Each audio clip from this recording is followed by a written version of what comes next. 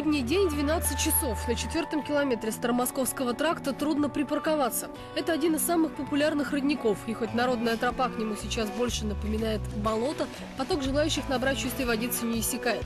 Многие уверены в источнике, потому что пьют эту воду годами. Года три точно. Еще ни разу не отравились? Нет. Кроме того, у горожан сложилось устойчивое мнение, что вода из родников самая чистая, потому что природная. Правда, при этом люди не задумываются, что источник может быть расположен рядом с трассой, заводом или железной дорогой. Мы решили проверить эту природную воду. Берем пробы с трех источников. Здесь, на окраине, за городами в черте Екатеринбурга. Хотя на самом деле их намного больше. Таких родников в окраине Екатеринбурга не меньше 30. Обычно сюда заезжают садоводы по пути сдачи. Набирают воду и везут ее в город. Благоустроенным родник кажется только на первый взгляд. В 20 метрах отсюда двухполосный Новомосковский тракт, еще ближе Старомосковский. И вся грязь стекает именно сюда. Родник памяти расположен немного дальше от трассы. Ну, учитывая, что от Екатеринбурга все равно он не так далеко, и какой у нас воздух, и все равно с, дождями со всем это все все попадает. Коллеги в очереди говорят, что в этой воде много железа. Сотрудники лаборатории ТГК-9 этот миф опровергают, зато подтверждают другой. Александр, скажите, правда, что в родниковой воде бывает очень много именно нитритов? Да, бывает и такое. Нитриты очень опасны для организма, для здоровья человека. Они вызывают онкологические заболевания. В лаборатории эту жидкость выведут на чистую воду. Правда, прежде чем отправлять ее в анализатор, нужно пробу подготовить.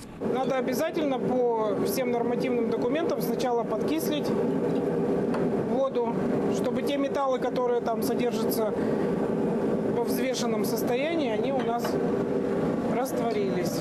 А затем еще подогреть и разлить по целлофановым стаканчикам. Их помещают в чудо-прибор, который все грехи природной воды выдает как на духу. В жидкости много бензопирена. Это вещество первого класса опасности из четырех. Накапливаясь в организме, он бьет по печени и почкам. По цветности и мутности эта вода не удовлетворяет санпину бутилированной воды. Это говорит о том, что в жидкости много побочных продуктов хлорирования, а они обладают канцерогенным и мутагенным эффектом. Что ж, не отчаиваемся, едем дальше от города. Сады в районе Палкинского торфяника. Здесь родник превратили в мини-завод. Есть краны с технологией века 21 Чтобы вода потекла, к ним нужно подносить магнитный ключ. Есть вариант исконно старорусский. Родниковая вода, она химически и всякие физические не обработана, не очищена хлором, в ней нет ни добавлено хлора, ни озалена ничем. По идее, родниковая вода не нуждается в доочистке, но здесь сотрудники водоканала сразу предупреждают. Жидкость обязательно нужно прокипятить. То, что вода это далека от чистейшей природной, говорят и наши эксперты. Мы помещаем ее в прибор, который способен разглядеть самые крохотные частицы. Мышьяк, ртуть, селен, там бериллий, кадмий, свинец. Вот, потому что э, они содержатся в водах только в микроколичествах. Таблица, которую создал химик Менделеев, здесь представлена почти в полном составе. То, что там, скажем, какая-то жесткость, большая, небольшая, это не страшно. А то, что вот э, может быть бензопирен таких, э, свинец может быть, и нитраты. Нитраты мы уже нашли. Результаты анализов подтверждают предположение. В воде с Палкинского торфяника превышено количество и бензопирена, и свинца, и с цветностью проблемы. Кроме того, превышены показатели окисляемости. Это признак того, что в воде много соединений, которые губительно влияют на репродуктивную функцию организма.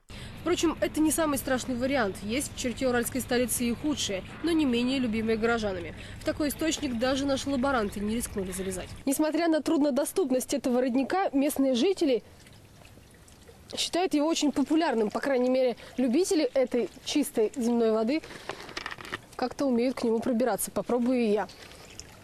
То, что стоять нужно на железном прутике, жителей сортировки, видимо, не пугает. Главное набрать воды из скважины.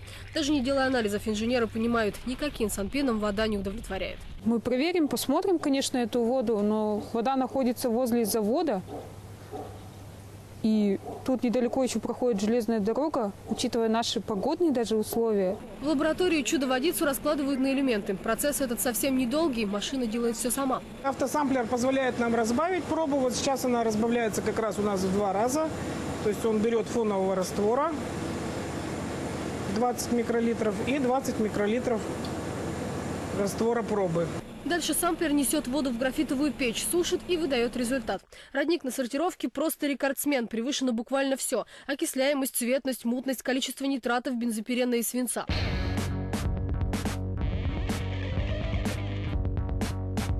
Если доверять родникам, то воду из них нужно предварительно отстаивать в течение суток, а потом еще и кипятить. Но температура убьет в ней все живое. Так что пить ее можно, но это опасно для здоровья. Может быть, поэтому сотни екатеринбуржцев предпочитают покупать живительную влагу в бутылках.